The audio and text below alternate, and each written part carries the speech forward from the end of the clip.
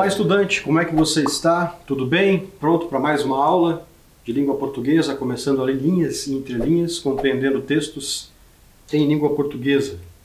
Aí, como você já está habituado, é necessário separar o material para a aula de hoje, no caderno, folhas para anotação, lápis, borracha e apontador, além de caneta e também um dicionário. Coloque também a data relativa ao dia de hoje, a disciplina, deixe tudo certinho aí para nós começarmos a aula. Eu vou deixar um tempo para você fazer isso e na sequência eu iniciarei a aula. Até lá!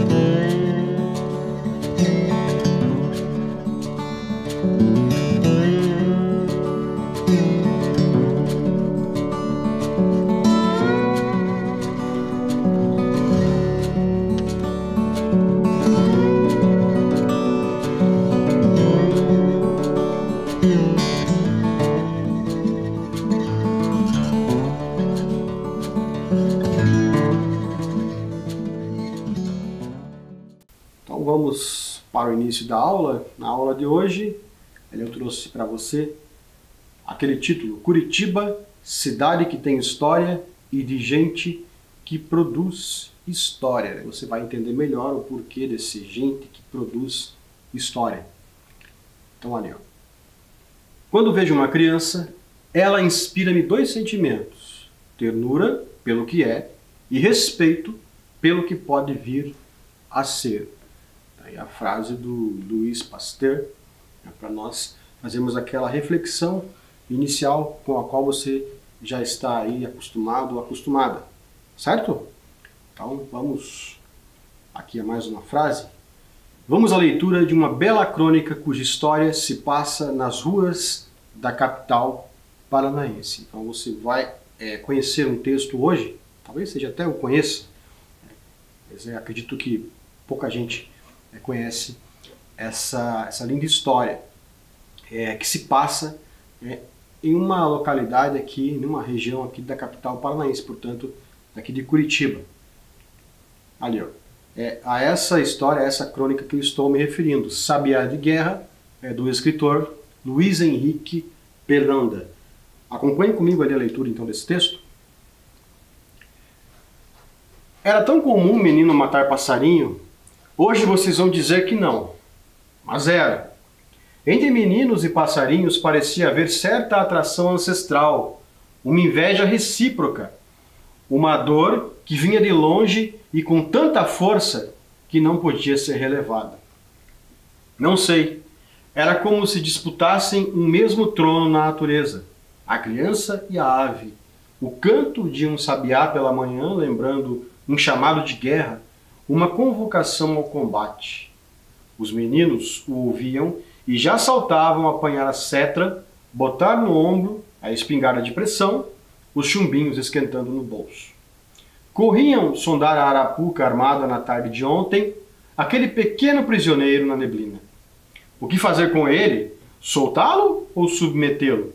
Não, os meninos não tinham o céu, mas decidiam que destino dar aos pássaros.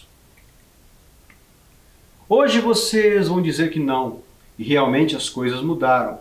O convívio entre crianças e passarinhos se tornou raro.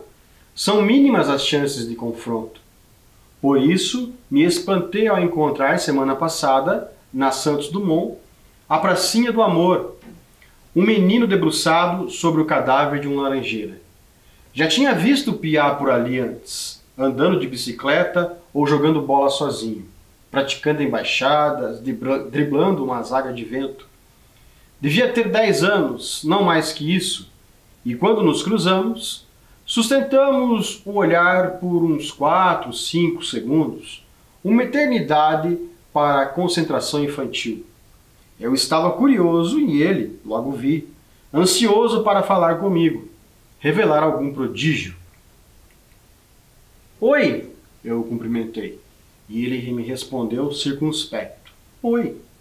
Era óbvio que vivia um momento solene e fazia questão de demonstrá-lo. Era fácil ler em seu rosto o respeito que sentia pela morte estendida diante de nós. Perguntei o que tinha acontecido com o passarinho e, sem rodeios, ele falou: Morreu. Fiquei quieto e me mantive assim por um bom tempo, na esperança de que ele me explicasse como e por que o bicho havia morrido. Queria que me apontasse um culpado, me contasse a história de um crime, pois aquele também parecia ser o seu desejo. O menino entendeu meu silêncio e as minhas intenções, mas tudo o que disse foi: Não fui eu. Continuei na minha, embora tivesse mais perguntas engatilhadas. Por exemplo, o que o menino planejava fazer com o sabiá? Enterrá-lo? Ele me ouviu sem olhar para mim.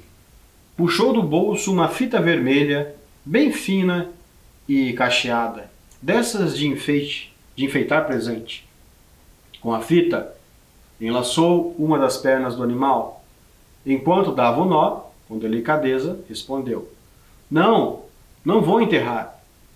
Levantou-se, limpou a calça gasta, o pó dos joelhos, apanhou o sabiá amolecido, aquele pescoço pendurado e tão triste, e o escondeu dentro da jaqueta de nylon. Depois assoprou a penugem presa entre seus dedos e anunciou, muito sério e seguro: Vou para casa ressuscitar esse passarinho. Consegui disfarçar a minha surpresa, mas não a minha incredulidade. Quis saber como ele faria aquilo. É segredo, rebateu o menino. E aí, pergunta para duas perguntas né, para você responder aí. Será que o menino conseguiu realizar aquilo que pretendia? Você percebeu aí que até é, onde nós lemos ali, o narrador conta que encontrou um, um garotinho é, ali numa, numa região central, uma região da cidade de Curitiba, é, que estava com um passarinho morto nas mãos. E, e a intenção desse garoto era ressuscitar esse passarinho, ou seja, né, fazer com que ele é, revivesse. Então aí, será que ele vai conseguir fazer com que isso aconteça? Lembrando que é, nas histórias, né, nas, em literatura, né, tudo é possível, certo? Então, olha, como você imagina o final dessa história? Como é que será aí o desfecho dessa narrativa né, que você está lendo comigo? Parou para pensar aí? Então vamos verificar como é que a história vai ser concluída, como é que ela acabará. Acompanhe comigo aqui. Mas me pediu atenção se nos próximos dias eu avistasse algum sabiá laranjeira voando pelo centro de Curitiba, com uma fita vermelha na perna, eu saberia que o procedimento havia dado certo. Não sei se funcionou e repasso a vocês a minha expectativa. Duvidei dos poderes do menino, confesso, mas isso não significa que eu não esteja torcendo por ele. É um milagre que espero sem ansiedade, sem fé, sem preocupação mas com sinceridade. E torço para que, na madrugada de amanhã ou depois, ou ainda mais tarde, daqui a mil anos, tanto faz, aquele mesmo sabiá me acorde no meio da noite, com o seu doce canto de guerra, sua voz de flauta prenunciando novas luzes e lutas, num mundo onde os meninos ressuscitam passarinhos. Então aí a conclusão dessa crônica é do Luiz Henrique Pelanda, que é um autor paranaense que gosta muito de, de escrever, ambientando as suas histórias é, na cidade de Curitiba. Então existem várias crônicas é, dele que se passam aqui na capital paranaense. É, gostou da história? O final que você imaginou bateu com o final da história? Se aproximou ou não? Ficou totalmente diferente? Agora chegou a sua vez né, de responder as questões acerca aí desse texto que nós acabamos de ler. Agora é com você. Vamos à primeira questão? Então, olha, Quando o narrador utiliza o pronome vocês, ele está se dirigindo a aos meninos que matavam passarinhos, b aos pais dos garotos, c aos leitores ou d aos passarinhos. Então nós temos aqui o fragmento, acompanhem comigo aqui. Ó. Era tão comum um menino matar passarinho, hoje vocês vão dizer que não, mas era. Entre meninos e passarinhos parecia haver certa atração ancestral, uma inveja recíproca, uma dor que vinha de longe e com tanta força que não podia ser relevada. Então, ali nesse fragmento, eu quero que você então, assinale a alternativa correta, referente ao pronome vocês. Agora é com vocês. Eu já volto.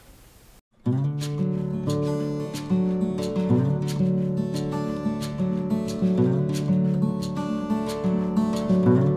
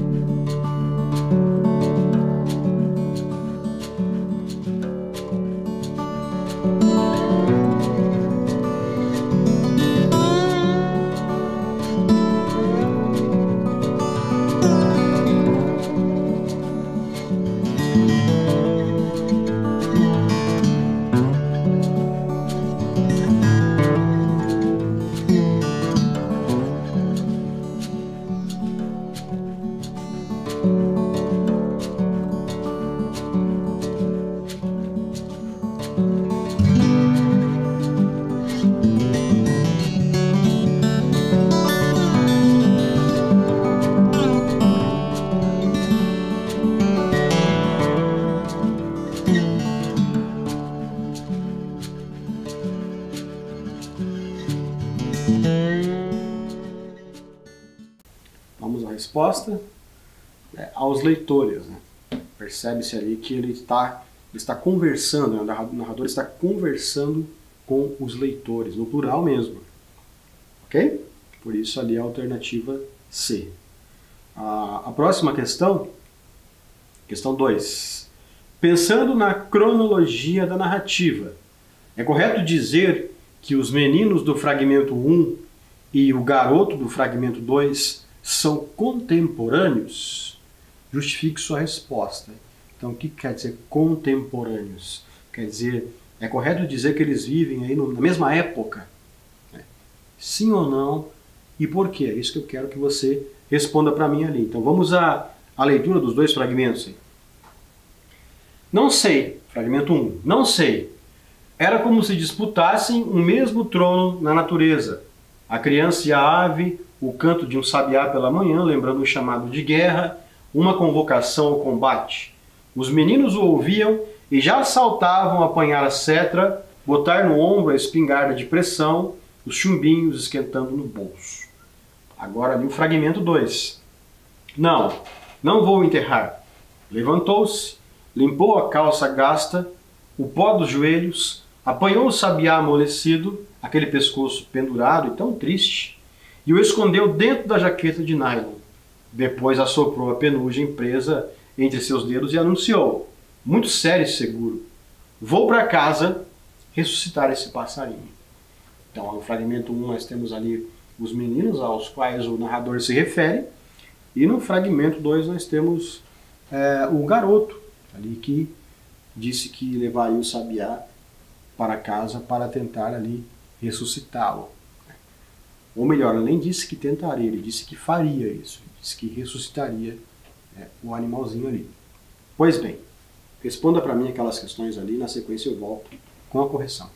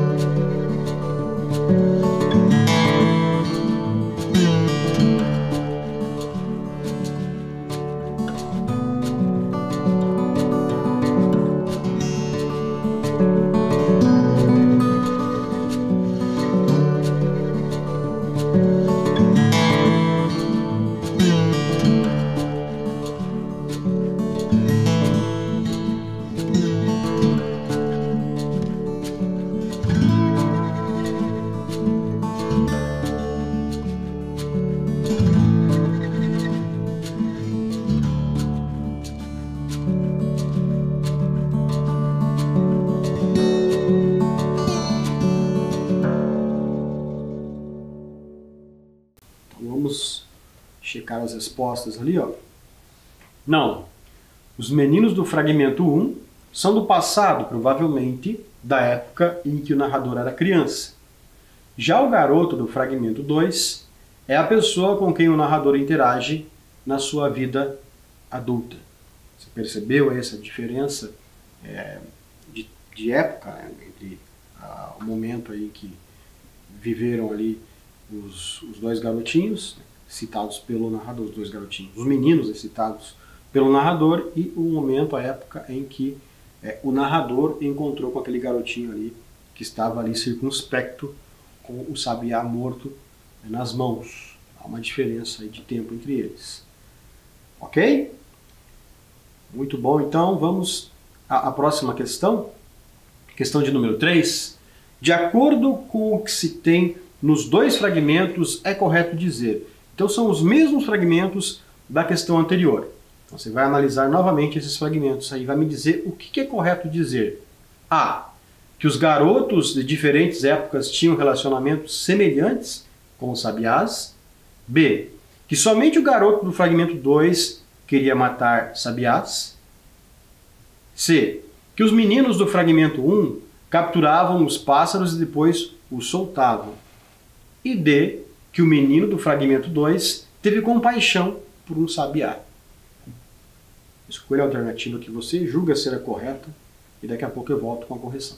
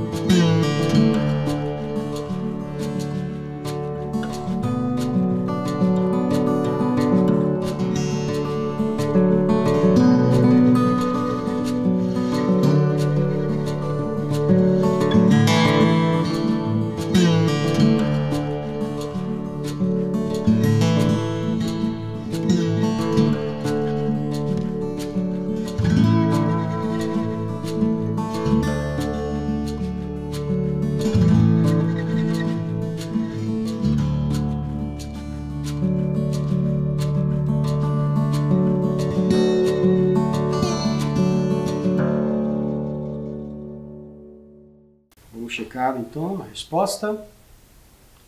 Alternativa D, que o menino do fragmento 2 teve compaixão por um sabiá, porque ele queria né, ressuscitá-lo. Ele ficou com dó daquele pássaro ali é, que ele é, encontrou, muito provavelmente morto. É, alternativa A, que os garotos de diferentes épocas tinham relacionamentos semelhantes com os sabiás. Semelhantes quer dizer parecidos, não o narrador deixa claro que o relacionamento entre esses garotos de épocas diferentes, esses garotos e esse garotinho do momento atual em que ele narra, é, do momento em que ele interage né, com, com o garoto, tinham intenções diferentes. Os garotos é, do passado queriam caçar, matar sabiás. Era hábito matar e prender pássaros. Né? Ao passo que o garotinho ali com quem ele conversa queria é, trazer o pássaro à vida, fazer o pássaro reviver. B, que somente o garoto do fragmento 2 queria matar sabiás? Não, ele não queria matar sabiás, como já foi é, esclarecido. E C, que os meninos do fragmento 1 um capturavam os pássaros e depois os soltavam. Né? Em momento algum o narrador diz que eles é, soltavam, diz que eles capturavam, mas não diz que eles soltavam esses pássaros. É importante você prestar atenção aos detalhes do texto né, para escolher a resposta é, correta ou para né, deixar aí de que é, que é mais importante, né, deixar de entender, de compreender a história na sua íntegra. Certo? Então vamos adiante para mais uma questão aqui, a questão de número 4. Aqui eu vou tratar de ortografia nessa questão. Então lá, complete as lacunas com mais ou mais. Eu peguei alguns trechos ali do conto que, em que aparecem essas palavras, mas ou mais.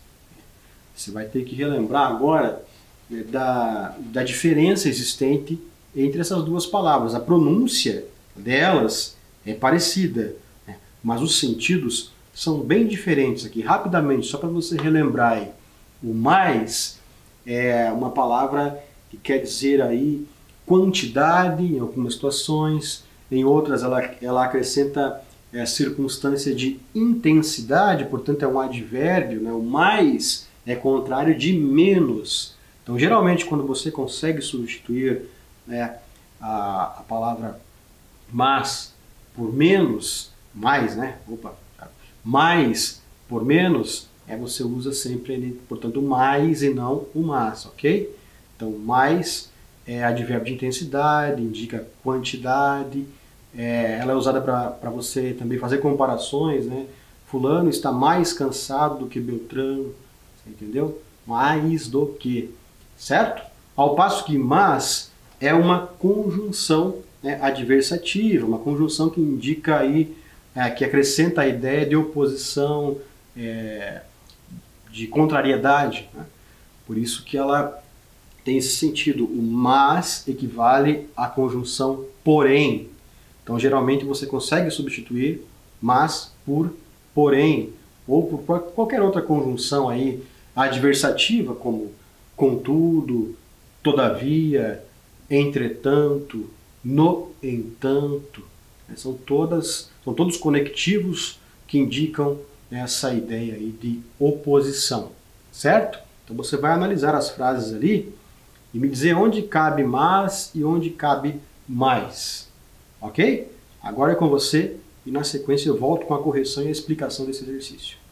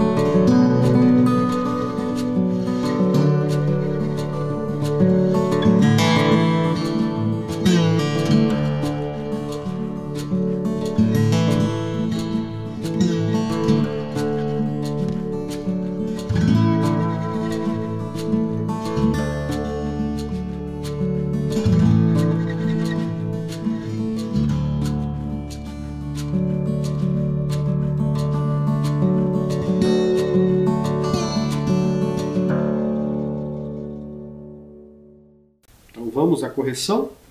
Ali. Não, os meninos não tinham o céu, mas decidiam que destino dar aos pássaros. Então, vamos ler novamente. Ah, não, os meninos não tinham o céu, mas decidiam que destino dar aos pássaros. Percebeu ali essa ideia de oposição? Eles não tinham o céu, certo? Porém, decidiam que destino dar aos pássaros, mas decidiam que destino dar aos pássaros. Percebam ali que a gente tem é, uma oposição entre as duas informações. Os meninos não tinham céu, certo?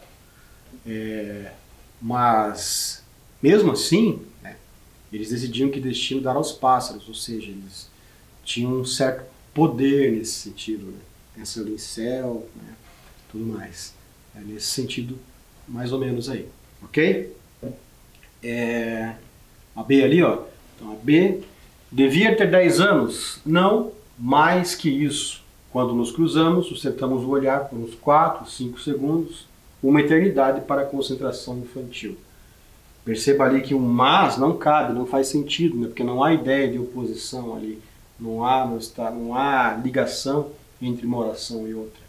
Entendeu? A ideia de, de quantidade ali, portanto, por isso foi usado né, o, o, o, mais. É, nasceu o menino, o menino entendeu o meu silêncio e as minhas intenções, mas tudo que disse foi: Não fui eu, Perceba que aquele mas ali, agora sim, equivale a porém, né, indica oposição.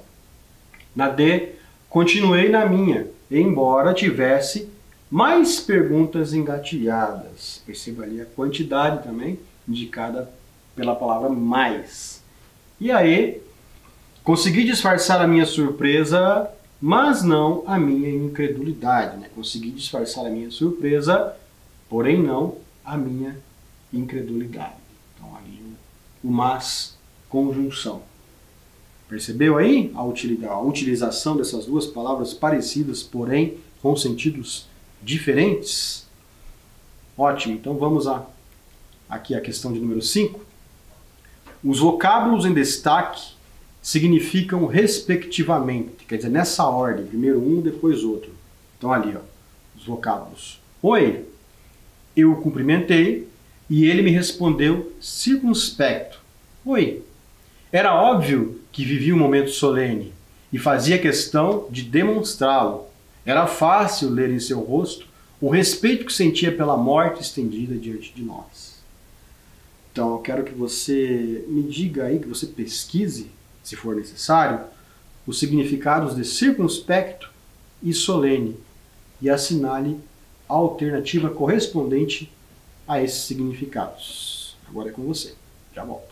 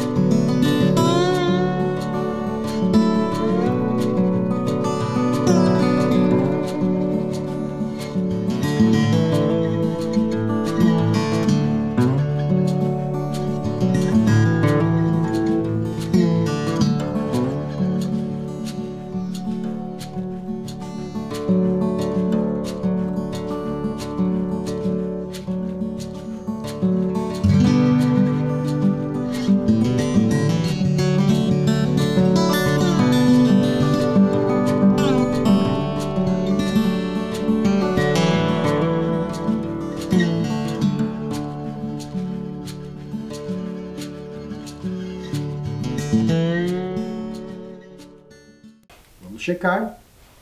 Reservado e sério. Circunspecto é sinônimo de reservado. E solene, naquele contexto ali, quer dizer sério. Ok? Você conseguiu acertar? Conseguiu chegar aí ao, ao significado, aos sinônimos dessas palavras? É muito bom. Esses exercícios são muito importantes para fazer com que você Aprenda palavras novas para que você aumente aí o, o seu vocabulário, para que você conheça palavras novas né, da nossa língua. Vamos ao próximo exercício, mas antes eu quero falar com vocês é, sobre essa figura de linguagem aqui. Ó. Para saber mais, o que é gradação? Já ouviu falar nessa palavra? Gradação? Vamos ali então é, descobrir o que, que significa nesse contexto aqui. Acompanhe comigo. A gradação, ou clímax, é uma figura de linguagem que está na categoria de figura de pensamento. Ela ocorre mediante uma hierarquia dos termos que compõem a frase.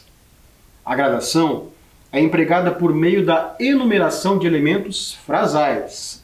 Tem o intuito de enfatizar as ideias numa sentença de ritmo crescente até atingir o clímax, grau máximo. Ou seja, ela oferece maior expressividade ao texto, utilizando uma sequência de palavras que intensificam uma ideia de maneira gradativa e por isso recebe esse nome.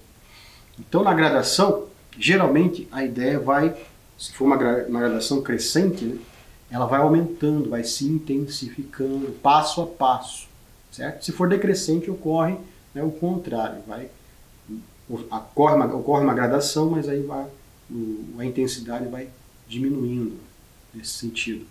Um efeito aí, sentido oposto. Bom, agora que você aprendeu o que, que é gradação, né, em que consiste a gradação, vamos ver ali as classificações dela, a respeito daquilo que eu falei. Na gradação, essa hierarquia pode ocorrer na forma crescente ou decrescente.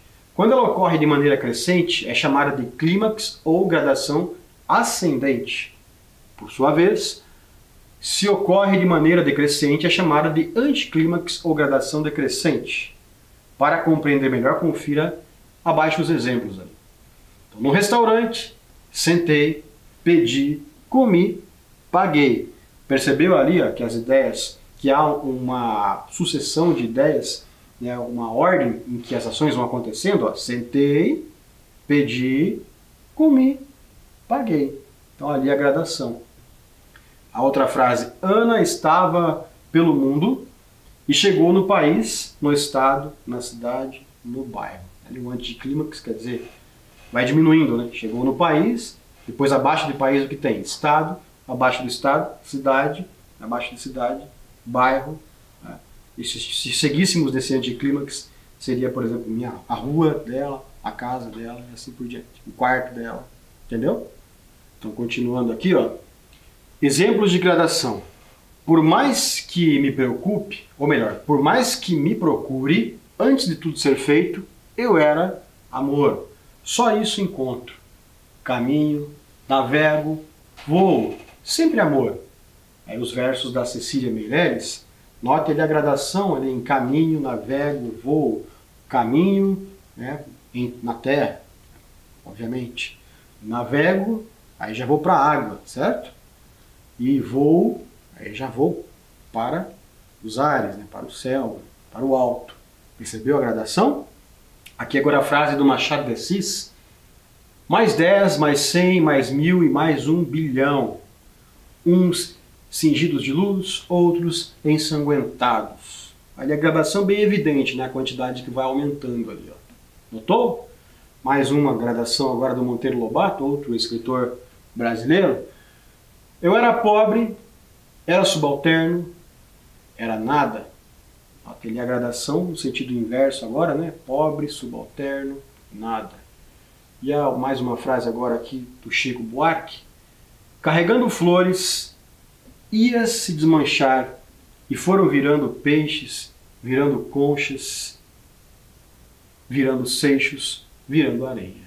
De novo ali a, a gradação agora no sentido inverso, inverso decrescente, né? virando peixes, depois virando conchas, virando seixos, virando areia, e talvez se continuássemos aí, desaparecendo.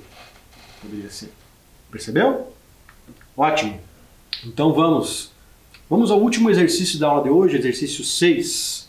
Falei sobre gradação, você prestou atenção.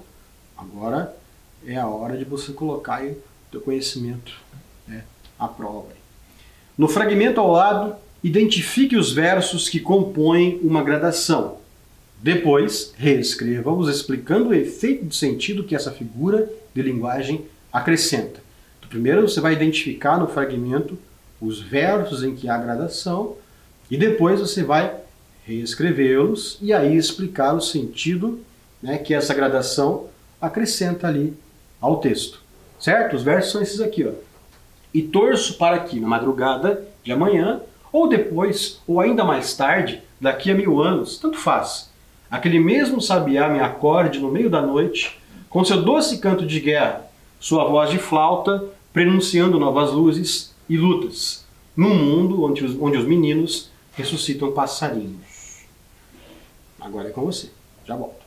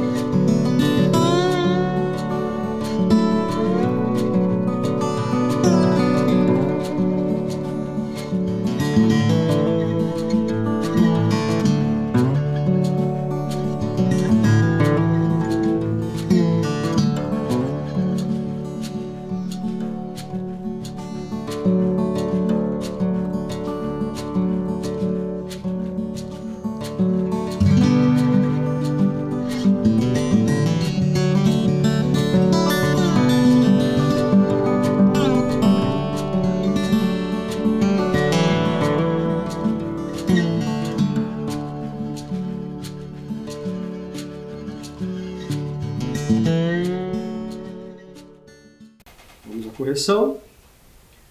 Na madrugada de manhã, ou melhor, na madrugada de amanhã, ou depois, ou ainda mais tarde, daqui a mil anos. Ali a gradação, na madrugada de amanhã, ou depois, ou ainda mais tarde, daqui a mil anos. O narrador usou gradação para imprimir a ideia de que seu desejo de ver a vontade do garoto se cumprir se estenderia por muito tempo.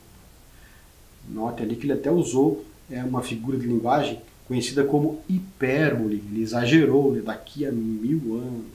Percebeu? Ele exagero também? É isso. Chegamos ao final da nossa aula. Até a próxima. Tchau, tchau. Cuide-se.